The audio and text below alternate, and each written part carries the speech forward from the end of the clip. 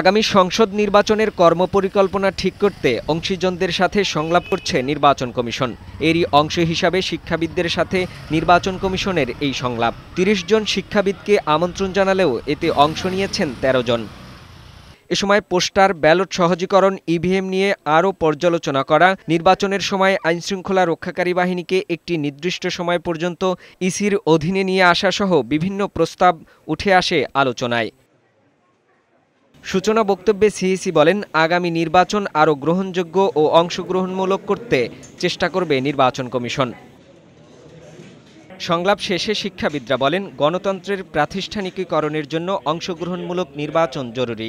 দুর্নীতির বিরুদ্ধে অবস্থান নেয়ার পাশাপাশি নির্বাচন কমিশনের সক্ষমতা বৃদ্ধির কথাও বলেন কেউ কেউ। পরে সিইসি বলেন, রাজনৈতিক সমঝোতা হলে সুন্দর নির্বাচন অনুষ্ঠান ইসির জন্য সহজ হয়। ধারাবাহিক এই সংলাপে পরবর্তীতে অংশ নেবেন নাগরিক সমাজের প্রতিনিধি এবং রাজনৈতিক দল।